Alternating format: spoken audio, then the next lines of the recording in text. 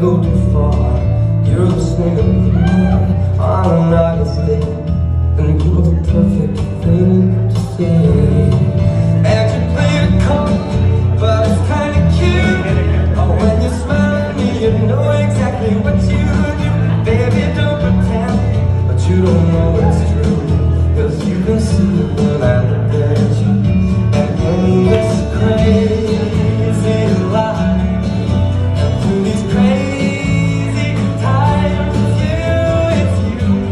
Maybe they